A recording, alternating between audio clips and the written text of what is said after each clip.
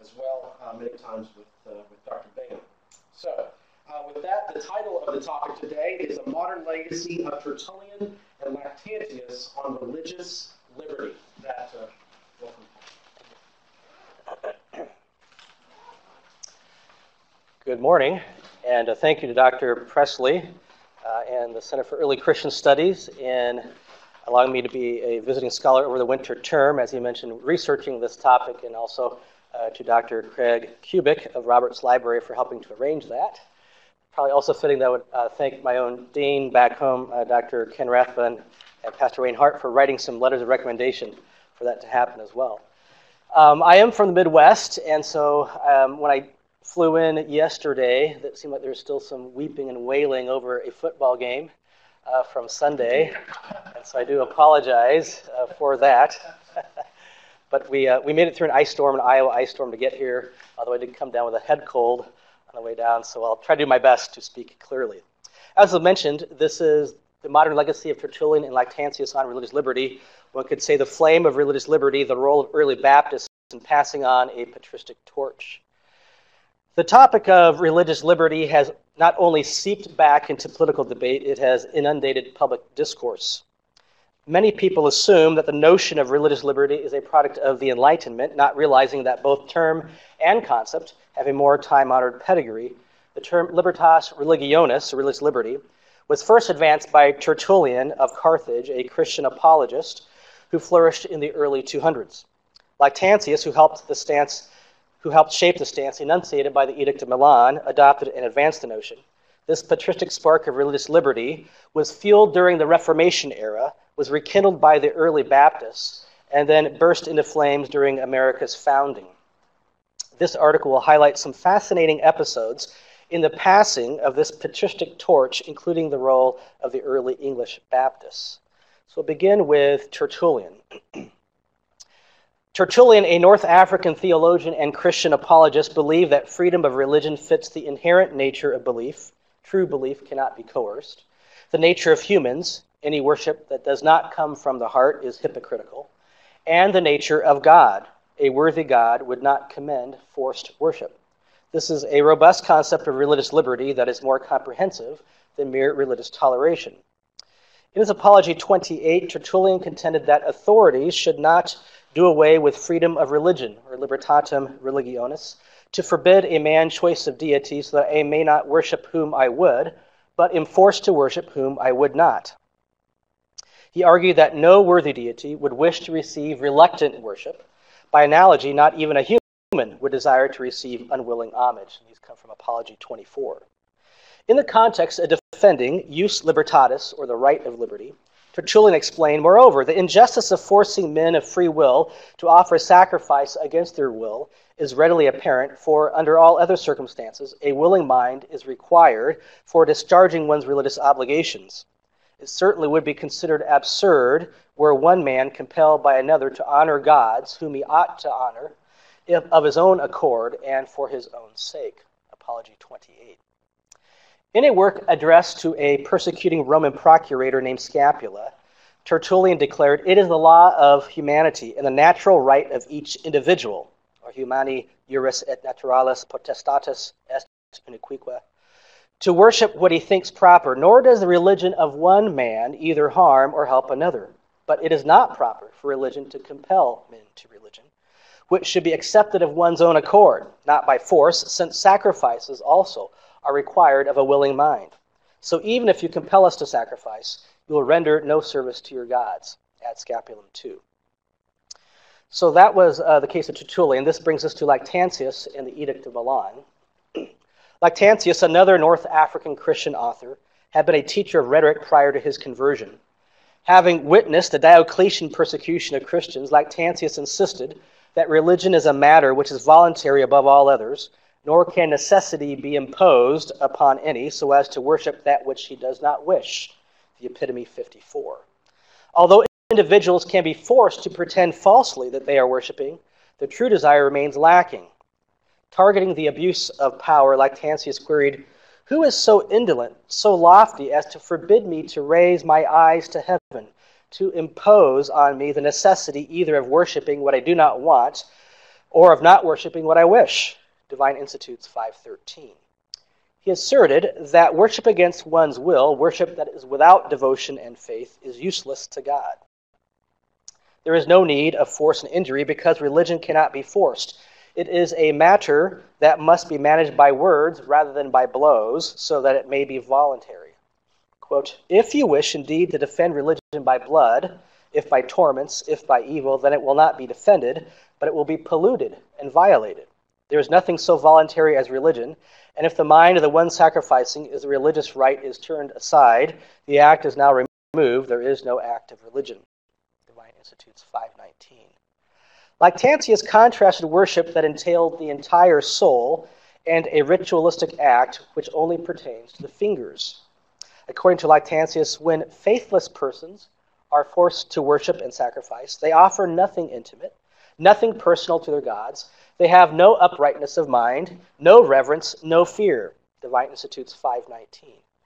A sacrifice which is wrested from one against his will is meaningless, since worship that is not spontaneous and from the heart is an execration, as when men do it driven by proscription, or injuries, or prison, or term- torments. 519 again. After the cessation of persecution, Lactantius served as Constantine's advisor, and his influence is reflected in the imperial proclamation of the Edict of Milan, AD 312 the edict promised Christians free and unrestricted opportunity to practice their religion, but it also guaranteed all residents the freedom of religion in accordance with sound and upright reason. Quote, to others as well, the freedom and full liberty has been granted, in accordance with the peace of our times, to exercise free choice in worshiping as each one has seen fit. End quote. Christianity, which had endured the Decian and Diocletian persecutions, as well as local and sporadic oppressions, had finally attained freedom of worship alongside other religions. Unfortunately, after the unfolding of the so called Constantinian turn, the persecuted became the persecutors. By the end of the fourth century, emperors and other authorities were repressing Jews, pagans, and heretics in the name of Christianity. The balance of religious freedom had been lost. This brings us to Sebastian Castellio. The flickering cinders of Libertas Religionis would be reignited in the 16th and 17th centuries, and they would be ablaze by the 18th century. This is, of course, not to say that it was not discussed at all in the Middle Ages. Sebastian Castellio and the Anabaptists supported religious liberty on the continent. The early English Baptists staunchly promoted the notion, and the American founding fathers embraced it. Lactantius' arguments reappear in the Reformation era work of Sebastian Castellio. In October 1553, Michael Servetus was executed in Geneva, Switzerland, on charges of blasphemy and heresy. Servetus, a physician by trade, had denied the doctrine of the Trinity, although many Protestant leaders agreed with how the execution unfolded in Calvin's Geneva, a few balked. Castellio, a professor of Greek at the University of Basel, was morally outraged. He opposed the use of capital punishment to enforce religious persuasion on principle, and the execution of Servetus plunged him into a lifelong con- uh, controversy. In February of 1554, Calvin composed Defense of the Orthodox Faith, a work defending not only the Orthodox doctrine of the Trinity, but also the Genevan execution of Servetus. Shortly thereafter, Castellio, using a pen name, published Should Heretics Be Persecuted, 1554, as a defense of religious toleration. In support of his views, Castellio invoked the words of past luminaries, including lengthy passages from Lactantius. Theodore Beza, a disciple of Calvin, joined the fray by writing a spirited response entitled On the Punishment of Heretics by the Civil Magistrate, 1554. And Castellio, using another nom de plume, countered with On the Non Punishment of Heretics by the Civil Magistrate, 1555. In his treatise against Calvin's book, Castellio directly charged Calvin, arguing that he should not have sent Servetus to the magistrate to be cast out and killed. He contended, quote, To kill a man is not to defend a doctrine, but to kill a man. When the Genevans killed Servetus, they did not defend a doctrine, they killed a man. Castellio reasoned that because Servetus did not take up arms, but argumentation, he should have been resisted with the same. Castellio died in 1563 and he was buried in the tomb of an illustrious family. Opponents exhumed his body, burned it, and scattered the ashes. Some of his followers, however, erected a monument in memoriam. Through his writings, Castellio's ideas lived on and influenced various Dutch authors. Peter Jans Twisk, the Dutch Anabaptist author, followed Castellio's lead by publishing a compilation of over 1,000 historical sources supporting religious toleration, including patristic materials. Eventually, such tributaries of toleration flowed into the currents of religious liberty enjoyed throughout the West, as embodied in the founding of the United States of America. So we come to the American founding fathers. In an academic conference presentation in 2006, I hypothesized that the patristic concept of religious liberty, as found in Tertullian and Lactantius, may have influenced the American founding fathers, including James Madison and Thomas Jefferson. I summoned the fascinating evidence of the catalog of Thomas Jefferson's personal library. Under the subject of title of religion, Jefferson's catalog, which was enumerated by shelf position, lists number 31, Tertullianus, number 32, Lactantius, number 33, Lactantius on the death of persecutors. At the time, I commented, quote, Of course, we cannot know for sure that erudite Jefferson, no adherent of Orthodox Christianity himself, ever read these specific books in his library, much less if they directly impacted his views on religious liberty. End quote. The paper concluded that this was an intriguing and tantalizing, yet unverifiable possibility. Through an interesting series of events, however, this supposedly unverifiable possibility has indeed been verified. Now we actually know for sure that the early church fathers influenced the American founding fathers. As my resultant article was finally impressed during the autumn of 2012, I attended a public lecture presented by Robert Louis Wilken, the William R. Keenan Jr. Professor of the History of Christianity at the University of Virginia. Wilken's historical research was developed more fully and later published as The Christian Roots of Religious Freedom, 2014. The epilogue of his volume relates a fascinating discovery. Wilken found the Latin of Tertullian's Ad Scapulum II written out in Thomas Jefferson's notes on the state of Virginia, 1781, in the Special Collections Library of the University of Virginia.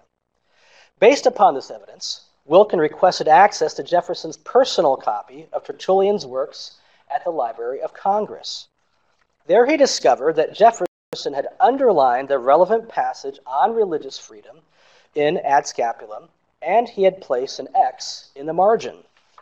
This discovery constituted proof positive of my earlier hypothesis that the Church Fathers influenced the American founding fathers in the matter of freedom of religion.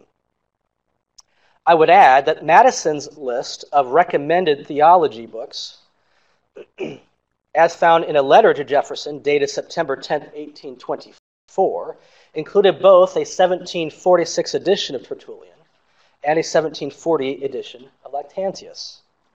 Furthermore, the Jefferson Adams correspondence further evidences knowledge of material in both Tertullian and Lactantius, although not directly tied to the topic of religious liberty. This brings us to Roger Williams and William Penn. Robert Wilken argues that Thomas Jefferson was not reading through Tertullian's Ad Scapulum when he underlined and marked the relevant material in chapter 2. Quote, It is most unlikely he spent winter evenings at Monticello reading the church fathers, end quote. More, more likely, argues Wilken, Jefferson was deliberately looking for the specific Tertullianic text highlighted by Roger Williams. This may indeed be the case, as both William Penn and Roger Williams had borrowed from Tertullian. We'll begin with William Penn. William Penn, the Quaker leader and founder of Pennsylvania, championed historic principles of religious freedom. They reflected upon the sense and practice of the wisest, greatest, and best states and persons of ancient and modern times, states Penn. He quoted Lactantius in support. Quote, If you will, with blood, with evil, and with torments defend your worship, it shall not thereby be defended, but polluted. Penn borrowed from Tertullian as well in both his great case of liberty of conscience, 1670, and his A Persuasive to Moderation to Church Dissenters, excuse me, 1686, Penn cited a paraphrased passage from Tertullian's Ad Scapulum II, quote, that tis not the property of religion to compel or persecute for religion. She should be accepted for herself, not for force. Jefferson's own words in his notes on the state of Virginia, however, apparently reflect a different sentence from the same chapter in Tertullian's Ad Scapulum. This other sentence had been quoted three times in Roger Williams's The Bloody Tenet of Persecution, 1644 quote, another man's religion neither hurteth, excuse me, neither hurteth nor profiteth any.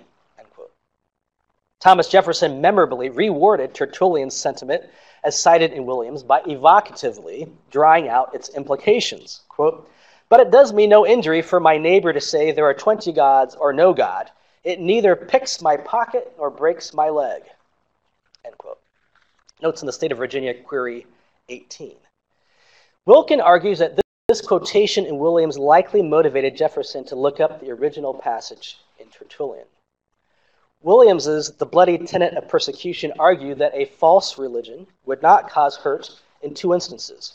First, when the false religion is outside the church, it does not hurt the church, nor more, no more than weeds in the wilderness hurt the enclosed garden.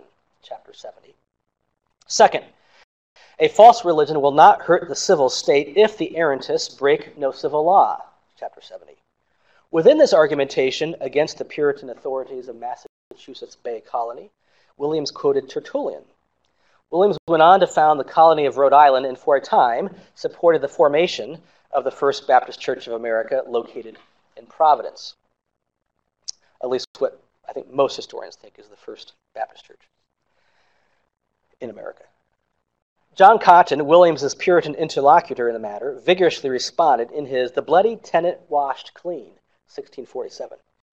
He retained the opinion that Tertullian's, quote, intent, faith be, is only to restrain Scapula, the Roman governor of Africa, from persecuting the Christians, not for offering sacrifice to their heathen gods, chapter 67.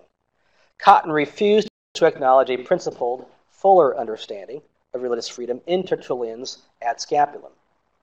Cotton argued that Tertullian's position, quote, must be understood of private worship or of religion professed in private, chapter 67. As a Puritan leader in New England, Cotton attempted to apply religious toleration to private belief but not to public expression, a limited understanding of religious liberty. This then brings us to the early English Baptists. To fill in the gap between Castellio and the New World, Wilken also discusses how Roger Williams's quotation of Tertullian followed the example of the English Baptist author John Murton. Murton's humble application argued that persecution for cause of conscience is condemned by the ancient and later writers, yea, by Puritans and Papists. As proof from antiquity, Murton quoted a lengthy passage from Tertullian, Ad Scapulum II, encompassing Williams's citation. Quote, it agreeth both with human equity and natural reason that every man worship God uncompelled and believe what he will. For another man's religion or belief neither hurteth nor profiteth any man, neither beseemeth it any religion to compel another to be of the religion which willingly and freely should be embraced, and not by constraint for as much as the offerings were required of those that freely and with a good will offered, and not from the contrary. End quote. So a very lengthy passage from Tertullian. Thus far, where Wilken leads us. Yet other episodes in the passing of the Tertullianic torch and Lactantian light of Libertas Religionis remain to be told. In early modernity, Tertullian and Lactantius had seemingly become the coin of the realm when it came to debates concerning the historical writs of religious freedom. The laying out of the full evidence for this claim must await another occasion, but I summon a few more witnesses to the stand beyond those held in the dock by Wilken. I will simply focus upon the role played by other early English separatist and Baptist works which remain unmentioned by Wilken in relaying the patristic ideas. In July of 1656, John Sturgion and other English Baptists composed a letter complaining of Oliver Cromwell as that loathsome hypocrite. In 1657, Sturgion was thrown in the Tower of London, where he remained until February of 1659, even though Cromwell passed away on September 3, 1658.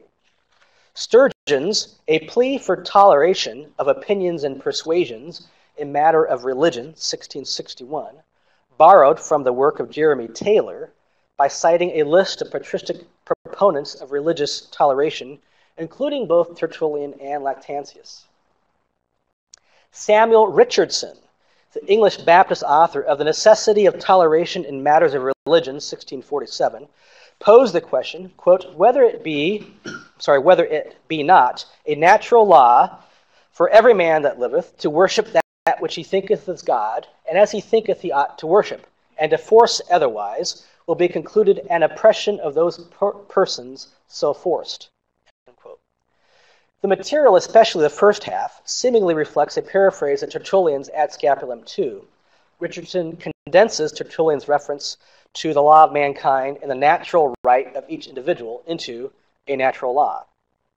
Most likely, Richardson incorporated the Tertullianic echo secondhand and adapted it for his own purposes. Richardson's work was also, also cited the decree of Constantine and Licinius in full, that is, the Edict of Milan, which we have noted was probably influenced by Lactantius. A contemporary of Henry Burton, sorry, a contemporary, Henry Burton, wrote an introduction to religious peace or a plea for liberty of conscience by Leonard Busher 1614 was when Busher's work was published. Busher had spent time in Amsterdam, was acquainted with John Robinson and probably John Smyth, and became a member of Thomas Helwys's Baptist congregation upon return to England. Burton's preface to Busher's work properly declared, quote, the plea for liberty of conscience is no new doctrine, end quote. In this case, an introduction by 17th century Puritan, Burton, prefacing a work on religious freedom by an early Baptist, Busher, acknowledged the long pedigree of religious liberty. And as a side note, it should be noted that Burton's ears were cut off for attacking the religious views of William Laud, the anti Puritan Archbishop of Canterbury. Freedom of religion requires eternal vigilance. He who has ears to hear, let him hear. This brings us to Hercules Collins, was an English Baptist leader and the author of the Orthodox Catechism, a Baptistic adaptation of the Heidelberg Catechism. Collins's Some Reasons for Separation from the Communion of the Church of England maintained, quote, that none should be compelled to worship God by a temporal sword, but such as come willingly, and none can worship God to acceptance but such, end quote. Collins referenced Hilary's against Auxentius and quoted a lengthy passage from Tertullian's Ad Scapulum II. Steve Weaver notes, quote, the use of these patristic references found in Murton and Williams likely indicates a familiarity by Collins with two of the most important early Baptist works of religious liberty, end quote. Weaver also notes, quote, the quotation from Tertullian, though reproduced in its entirety, is attributed merely to one of the ancients. This method of citation parallels that found in other 17th century materials, including those of John Robinson. John Robinson, the English separatist who organized the Mayflower voyage of the Pilgrims, had also been influenced by Peter Twisk, as had Murton and Busher. Remember, Twisk was the Dutch Anabaptist. Robinson pointed out that authors are usually for or against religious toleration based upon their own social standing, whether entitlement or exclusion.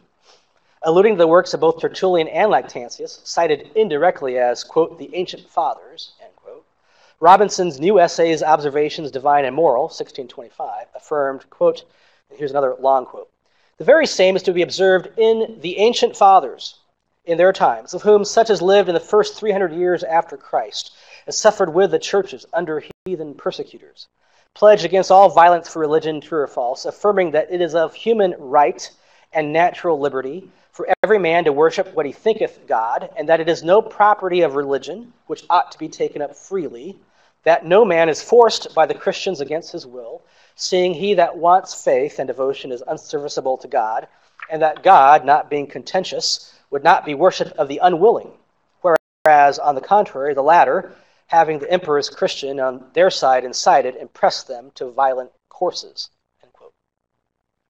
Robinson declared that persecutors are to be pitied since they damage their own consciences before the Lord. Without using Tertullian's name directly, but only the label of the ancient father, singular, Robinson declared that the ancient father desired Scapula that he would pity himself if he would not pity the Christians whom he cruelly persecuted, seeing the most hurt came to himself thereby. So, although Tertullian's name is not used, the ancient father who addressed Scapula clearly is. Of course, Robinson had a previous falling out with the early Baptists concerning their understanding of full religious freedom, among other issues. John Smyth maintained, quote, that the magistrate is not by virtue of his office to meddle with religion or matters of conscience to force and compel men to this or that form of religion or doctrine but leave Christian religion free to every man's conscience and to handle only civil transgressions. End quote. Robinson responded, quote, It is true they, that is the magistrates, have no power against the laws, doctrines, and religion of Christ, but for the same, if their power be of God, they may use it lawfully, and against the contrary. The Baptist author of Persecution for Religion Judged and Condemned, 1615, opposed opposed this concessive stance, as did Leonard Busher. The latter was disappointed that Robinson did not engage in a back and forth disputation. Walter Burgess explains, quote, Robinson did not think it worthwhile to reply. He was probably too busy or felt that a sufficient answer would be found in the tracts he was about to issue. Busher was rather nettled at his silence. So that's kind of the, the historical overview. I'm going to close with some insights uh, tied into some modern scholarship.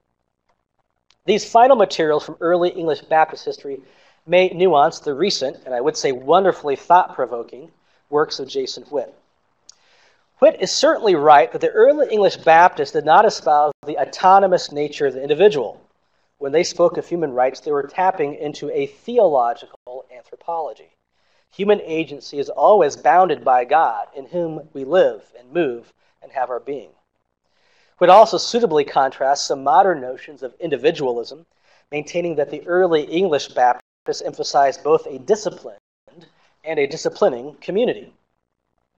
Whitt explains, quote, they never sought to uncouple people from one another as if an individual's faith could exist apart from life in community with other believers, end quote.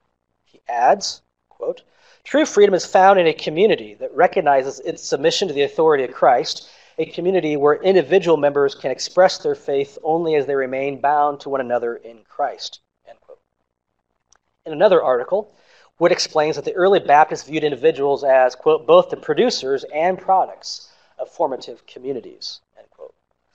Whitt concludes, quote, thus, for Baptists, religious liberty is not an anthropocentric concern with rights, but a theocentric emphasis on God's sovereignty. End quote. He goes a step further, however, by contrasting between an emphasis upon divine freedom, as found within the English Baptists, and an emphasis upon individual human freedom or individual rights, as found in the American Baptists. According to Whitt, the culprit who launched this emphasis upon individual human rights, as taken over by the later Baptists, was John Locke. Quote, Locke shifts the theocentric basis for religious liberty to be anthropocentric, a freedom rooted in individual human right. End quote. Herein lies an apparent, perhaps oversimplification of the history of religious liberty. The early English Baptists were situated within a prolonged conversation on religious liberty that already used similar language of individual or human rights, yet framed by a robust theology. Tertullian had already referenced the law of humanity and the natural right of each individual, humani juris et naturalis potestatis est uniqua, in his Ad Scapulum 2. And he had mentioned the right of liberty, Jure Libertatis, in his Apology 28. As Lactantius declared, religious oppression is against the law of humanity, contra jus humanitatis, and against all divine justice, contra fas omne. Although one should not anachronistically import modern developed concepts of human rights into Tertullian and Lactantius, the inchoate, the inchoate impulse was there. While Whitt starts with the English Baptists and moves forward, the English separatists and early Baptists recognized the ancient sources championing the natural right of religious liberty.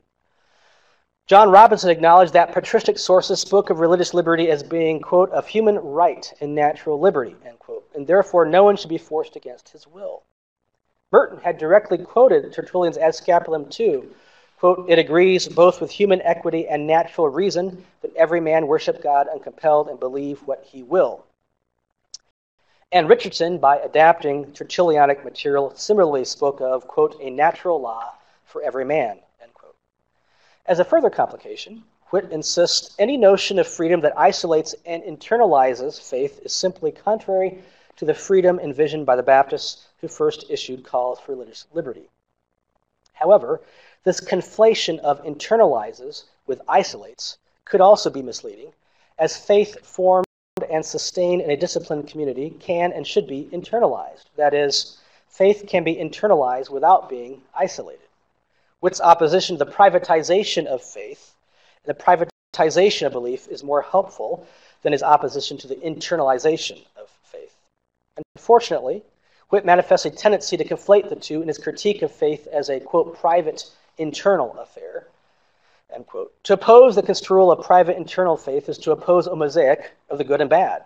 For the early English Baptists, faith was definitely internal, but also communally informed and communally, communally engaged.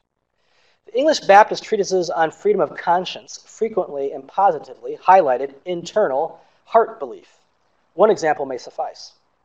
Quote, For if by threatening me with punishment, as imprisonment, banishment, or death, you cause me to bring my body, and not my spirit or soul, so shall I come near to the Lord with my lips, when my heart shall be far from him, which he accounteth vain worship and hypocrisy.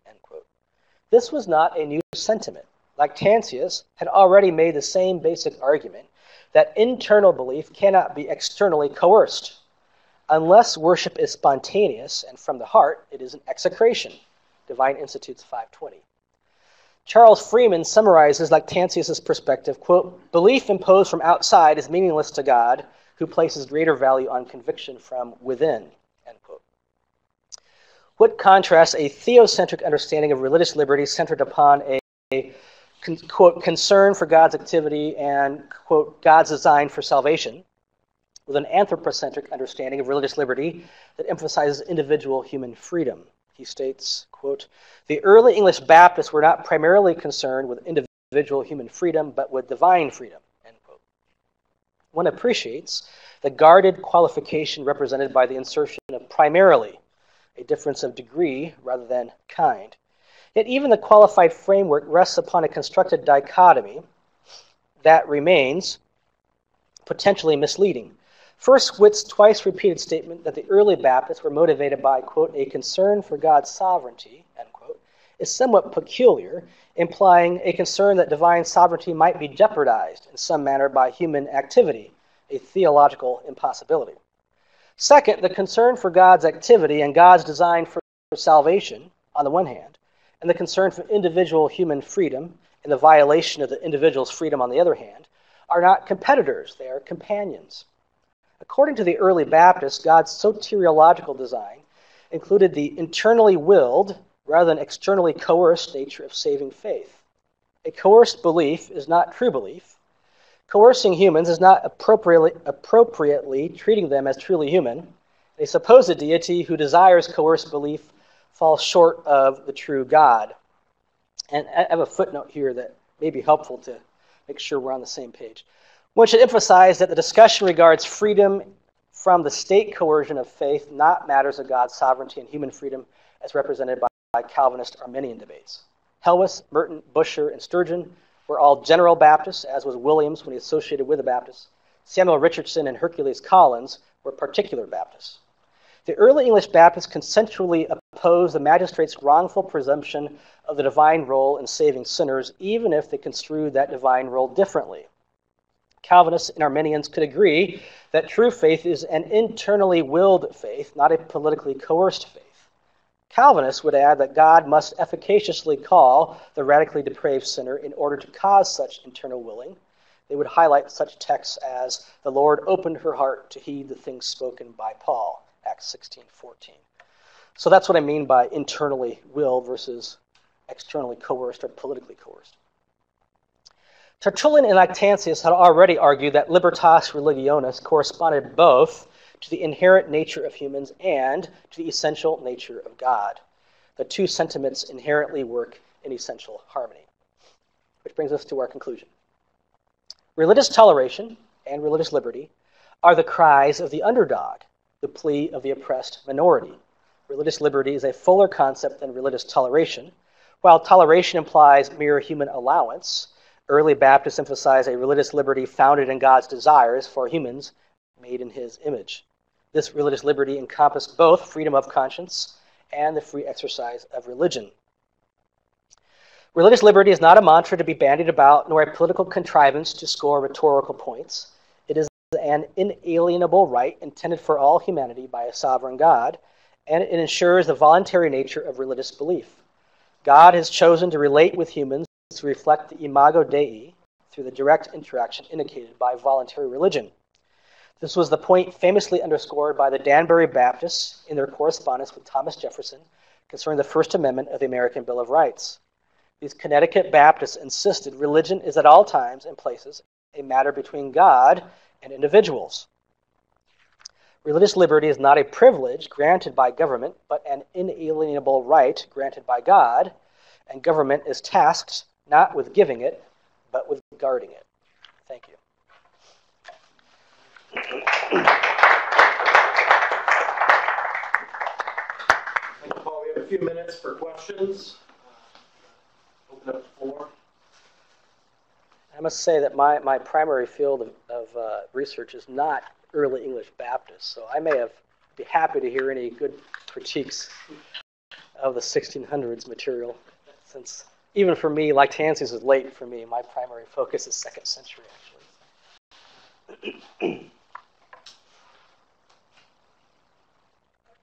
yes.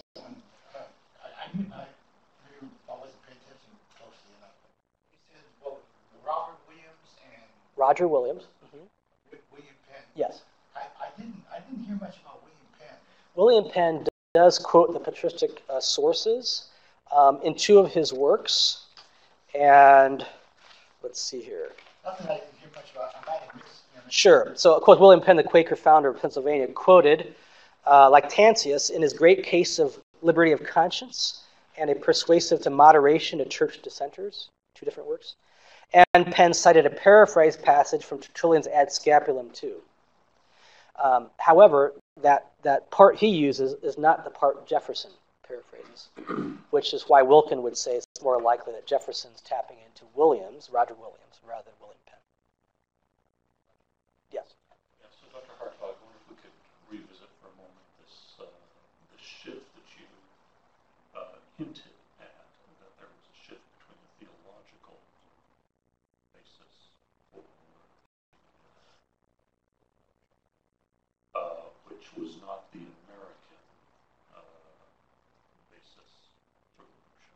switch from a theological rootage to an anthropological. Mm-hmm. Could you analyze that further? Sure, to the best of my ability, and I'd love to get feedback on this. So it's working a couple of ways. Um, Whitt is arguing that the English Baptists were concerned with divine freedom. American Baptists, because they're influenced by Locke, start talking more and emphasizing individual human rights and natural rights. what I was doing at that point is critiquing that because Whitt begins, the 1600s and moves forward, that the language of individual human rights and human rights, though, is actually uh, predecessing the English Baptists, of course, by centuries. It's going way back to Lactantius and Tertullian. Having said that, they're still definitely within, within very much of a theological anthropology framework. So, uh, what does Locke cause as far as trajectories? And here's where my knowledge would be uh, much more shady. Um, Locke does not quote Lactantius and Tertullian. Um, he may well have known of their work. It may have been purposeful that he does not quote it. And he definitely puts it more into kind of a history of political and philosophical history. And is it possible that some, such as Backus and, and Leland, pick up that from Locke and move it further along? And I would be very open to that. I'm not saying there's no differences between the English and the later American Baptist leaders. Um, but that one doesn't want to oversimplify or overstate the case because uh, long prior to Locke, there was that very specific language in Latin, uh, the natural right of freedom or the, the right of liberty. Uh, although clearly it's still a theological framework. Is that is that helpful somewhat? Yeah, that is helpful. Would you paint for me what uh, divine freedom that uh, What Whitt means by that? human freedom looks like? That? Well, first of all, what Whitt meant in the contrast was that the um, s- secular authorities don't presume God's prerogative in forming faith in people. So that, that's what he means by their concern for divine sovereignty, that they don't presume upon God's role in the formation of faith.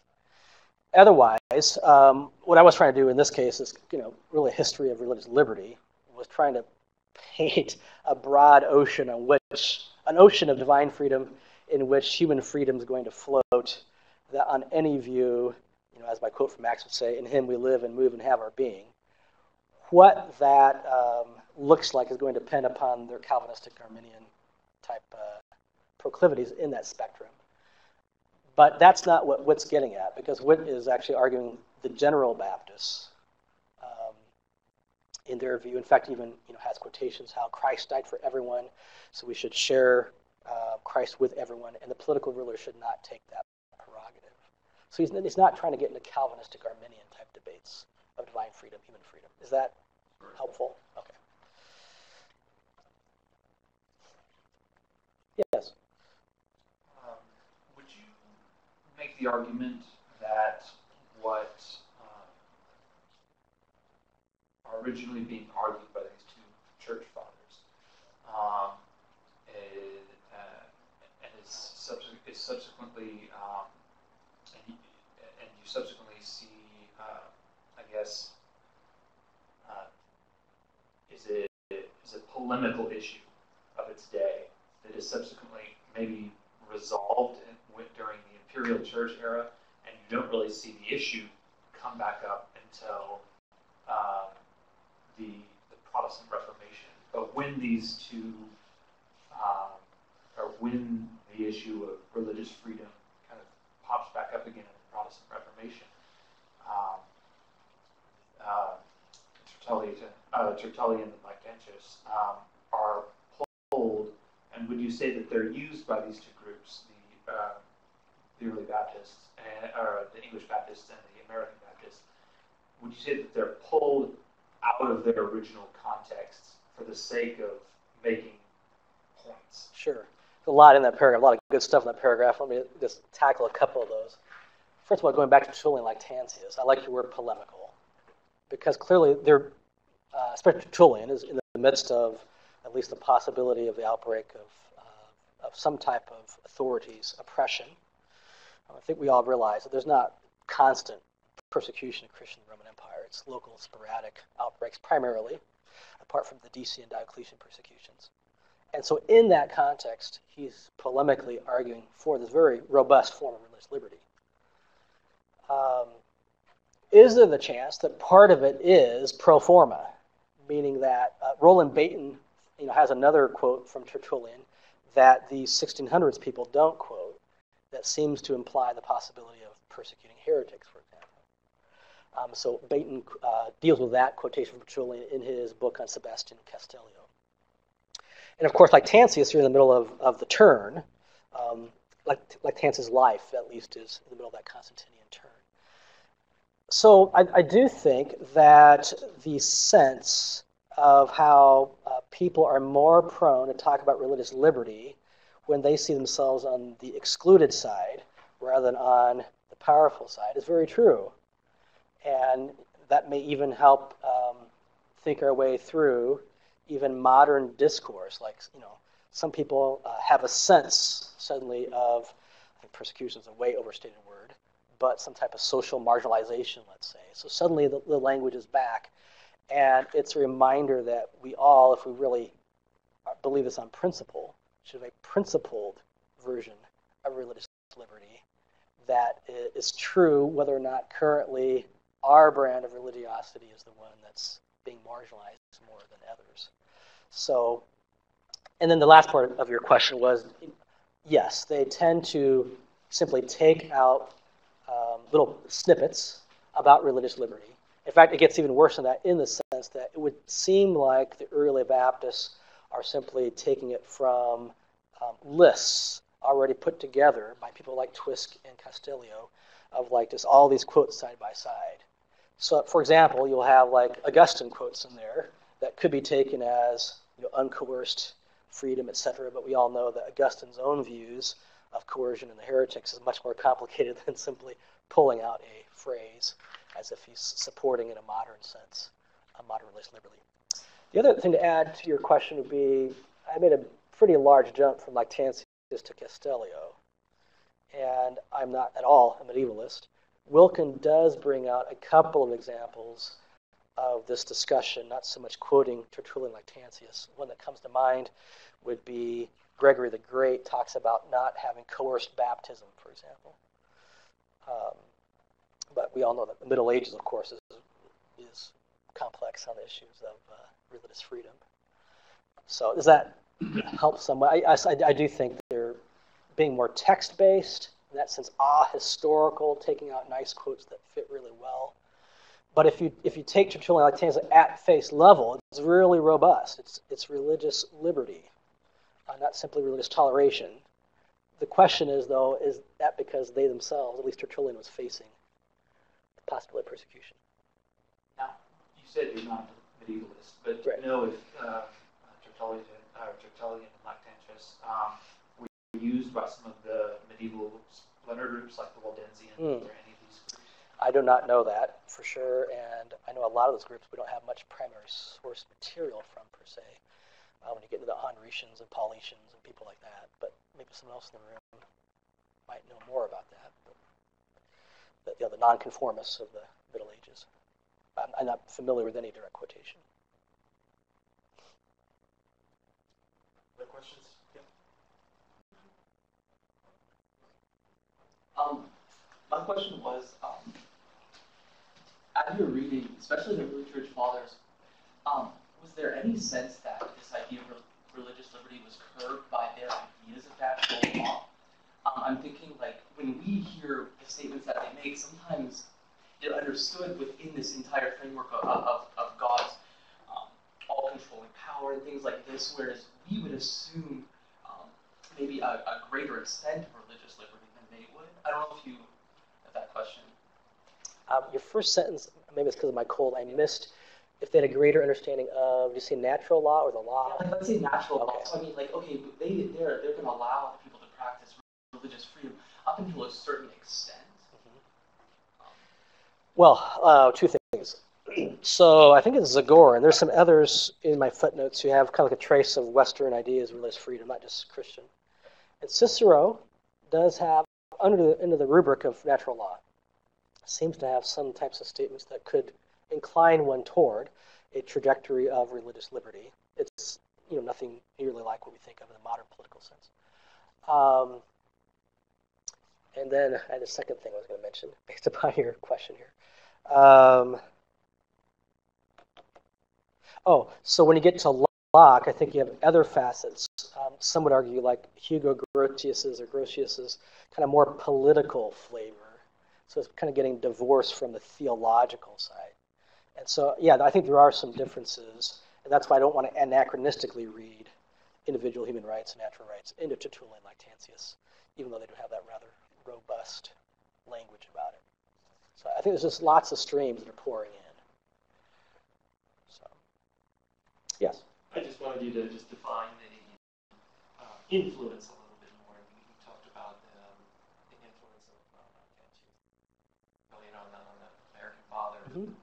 Like, what specifically is the, the influence we're talking about? Is it just um, that they were, you know, they were um, uh, late 18th century political uh, liberalism? Because it was, it was very uh, big on, on religious uh, toleration, religious liberty. Lo and behold, here's Tertullian, here's the ancients there Right. supporting our point. It's just kind of in the it's in the atmosphere. Correct. I think it's probably more like that. Those last couple of sentences saying. It's almost like window dressing, although it's not simply ornamental. Though I think they do prove the point for them that this is ancient, that it's not something brand new. But the use of this kind of grabbing quotes, though, is rather window dressing like. It's rather ornamental. I'm not trying to argue that they are the ground or foundation of their view of religious liberty. Um, but it does show that this is not a new topic of conversation. It, it's a long, prolonged topic of conversation.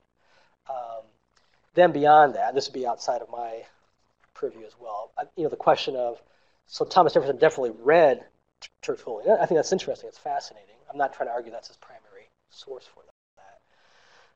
Uh, the, the, the middle term, the Locke, the Lockean term, I think then you have to answer how Christianizes Locke and that's not my field. My, my read of Whitt and Wilken would be that Wilken thinks he's rather Christianized, actually says some statements to that effect, while Whitt would tend to paint him more as, I'm not trying to say like a, a New Testament Christian, just Christianized in a Christendom sense. You know, how, how Christianized is he? Um, and I think Whitt would paint him as much less so. Regardless of that debate, one can't overstate the case as if the language of natural rights and individual human rights arises and launches with Locke and enters into the American English situation. Does that help some?